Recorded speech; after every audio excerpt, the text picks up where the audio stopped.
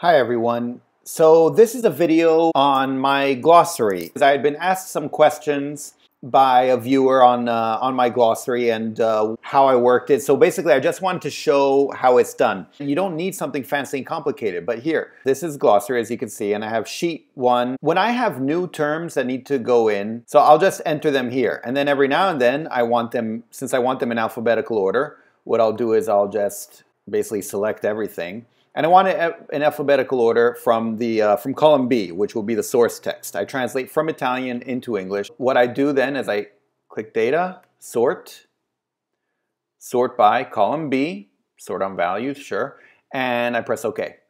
And so it should be somewhere, there we go. DM, Decreto Ministeriale, Ministerial Decree right here. That's it. And I just like to keep them just so I have access to them. If in the future I come across something, you know, GR. I know that GR stands for Giunta Regionale, which is Regional Council. Now, these are all on one file, just so they're easy to find. I have a couple, as you can see here, violino.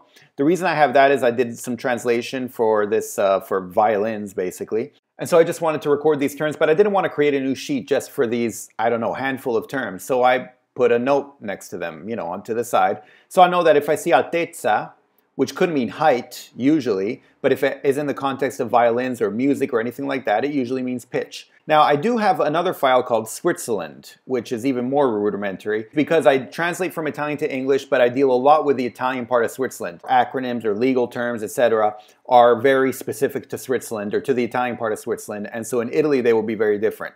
Many times these are harder to find for me, so when I do find them, I want to keep them in a separate file. Also because if I'm translating Swiss documents, I know that I should search here. Otherwise, that's it. The client ones, I'm not going to click on them. Again, I'm not sure if there's anything proprietary there, so I won't click on them, but they're basically the same kind of deal that clients sent me and that I used for them. I hold on to them in case I deal with them in the future or there's a follow-up to those translations I worked on. And that's pretty much it. As you can see, this is very simple what I do, and yet I do find it useful and I'm adding to it all the time. And so I definitely recommend you start keeping a glossary.